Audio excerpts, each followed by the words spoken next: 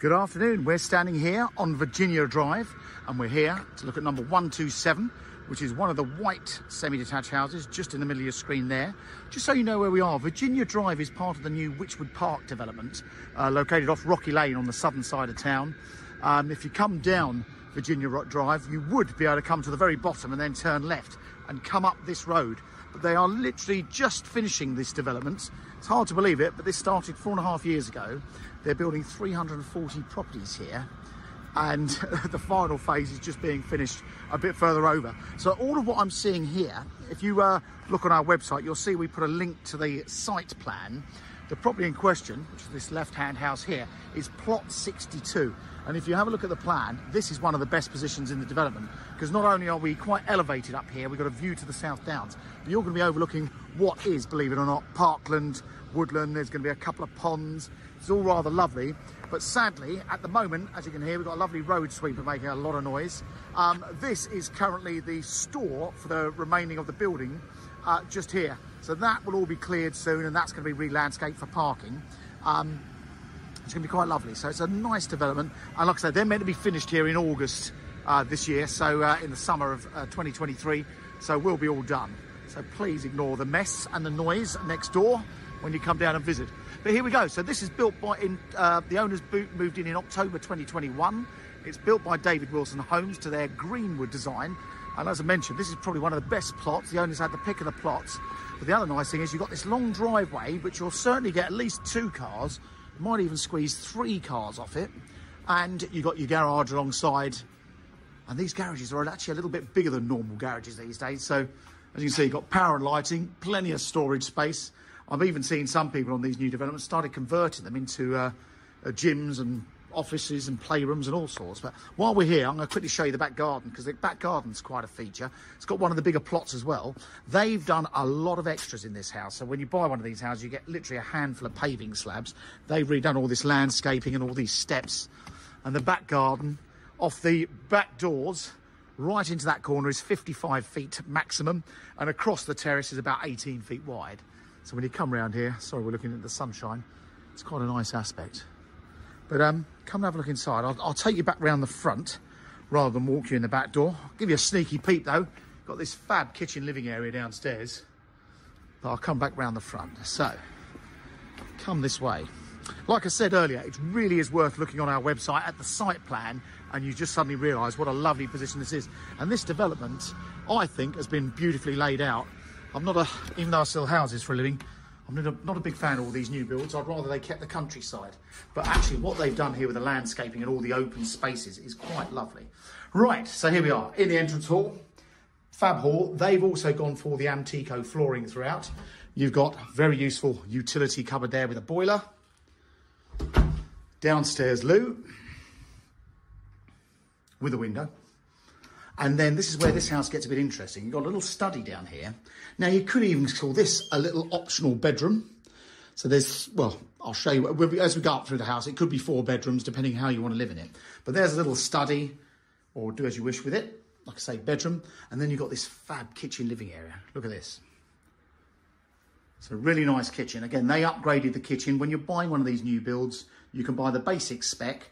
This is the, I believe, the middle of the range kitchens uh, with better appliances as well, but really nice. I love these grey units with all the grey, uh, the, all the white uh, tiling and so on. So everything's built in in there.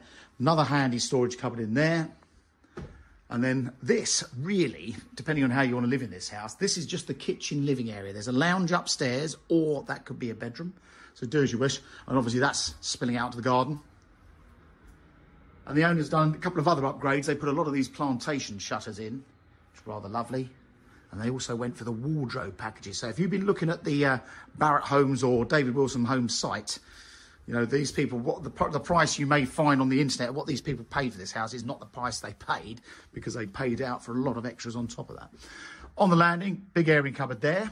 Now, this is where it gets interesting. This really, as you can see, is the lounge. But again, use it as you wish. Could be another bedroom. Do as you wish. And then the main bedroom, or should I say the bedroom with the ensuite is on this level. This house is an absolute show house. It's immaculate. Again, they are upgraded wardrobes. You don't get those as standard. And then this one has the ensuite shower over here. So oversized shower, all nicely done. Again, they upgraded the tiles in the bathrooms. So lots of extras. And then on the top floor, you're another two bedrooms. But it's really good because a lot of you are saying to us when we ask you, you know, what are you looking for? Or how many bedrooms do you want? The amount of you say, actually, we don't need so many bedrooms. We want rooms because a lot of you are working from home. So having that study on the ground floor or whatever you wish is great. And another big bedroom up here. So top floor. Now I'm going to try and zoom out on this if I can because you've got a view all the way to the South Downs. And like I say, across the road from us here is going to be all parkland. So you can have a really lovely outlook all the way around. So big bedroom there. And what is interesting, a lot of people are tending to use these top floors as their master suite. So you've got a bathroom, full bathroom on this level. I don't think this has actually been used. Absolutely spotless. And then another double-sized bedroom up here with wardrobes, again, not extra, not standard. And then this one's overlooking the back garden.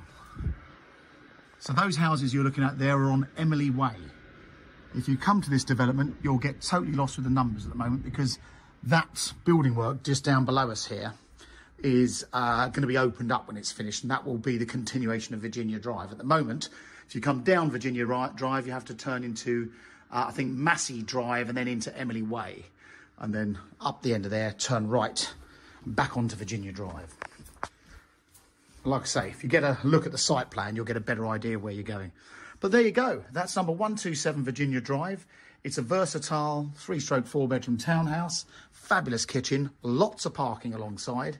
Uh, on foot, you're 1.8 miles to the railway station. Something else I should have pointed out, just where I started the video, round the corner, there's an alleyway that cuts up um, through um, to Rocky Lane. So, or up through Rook, um, Rookery Way and then to Rocky Lane. But once this development is finished, you can join the stream and the pathways down the very bottom of the fields, uh, which will link uh, down to the Fox and Hounds pub, and there's actually going to be a new school off of Hurstwood Lane. So it'd be quite, it'd be quite a nice walk to the school if you can get your children into that one. For secondary school kids, you're in the catchment area for Warden Park Secondary Academy in Cuckfield. But there you go. That's 127 Virginia Drive. I hope you like it. If you are interested, please give Mansell McTaggart a call and please start following us on these, our YouTube channel because our videos are live before these properties are on Rightmove. Thanks for watching.